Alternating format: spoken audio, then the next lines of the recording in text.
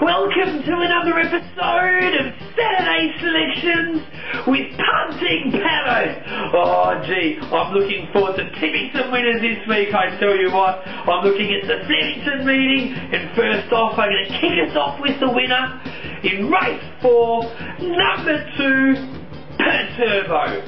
I reckon this dude has come back flying.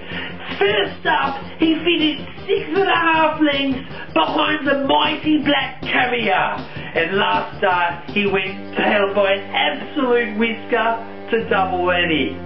Look, he is good enough to win this race. His third up record, four starts for two wins, 1,000 metre record, one win, which was at this track. I like him. And now it's time for Patto's Puffer. It is in race 6, number 12, Darboon. I made this like my puffer a few weeks ago.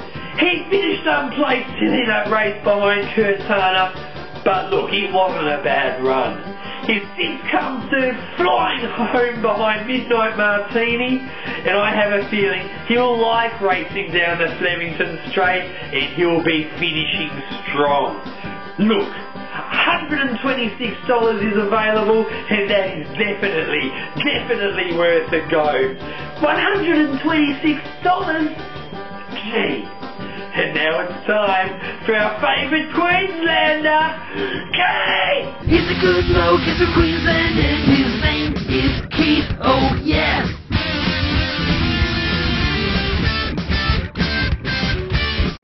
G'day Patto, well Stradbroke Day, it's our ultimate showpiece up here in Brisbane. Good race too, good betting race.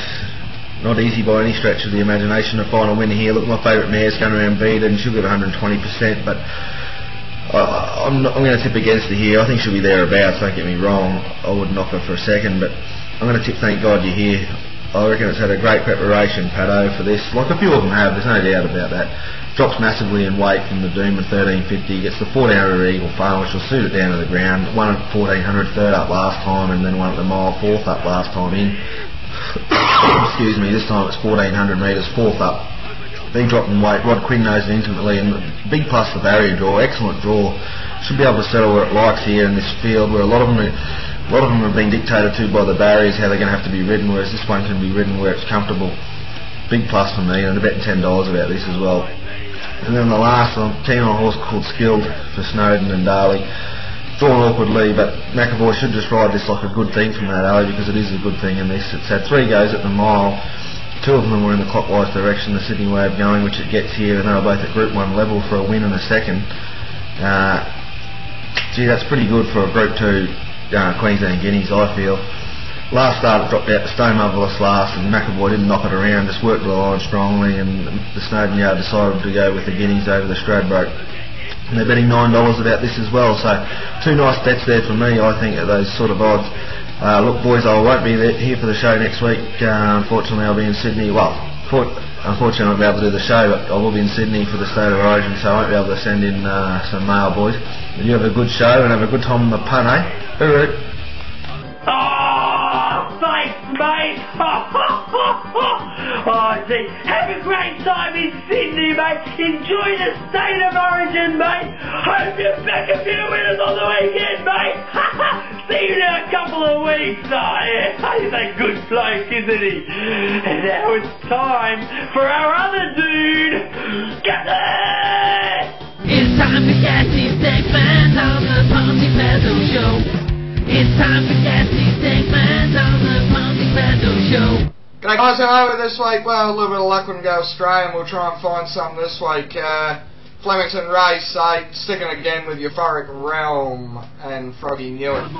Battled on alright last start in open class and look, it's back to the 89 Raiders. Uh, the wide draw it'll probably go forward and the 1700 shouldn't be a drama and look, I'll be back in it again, that's for sure. And then we again wait till race 8 at Eagle Farm and Benny's Buttons.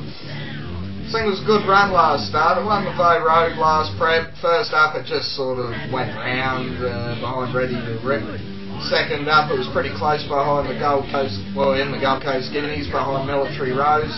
Third up, it was close again in the Fred Best. And like I said last start, only, only got beaten a head or a neck or something and uh, railed up and nearly nearly got the money.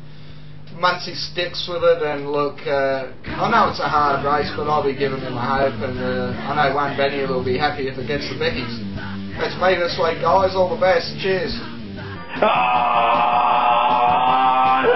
good to have you back, mate. It's good to have you back, mate.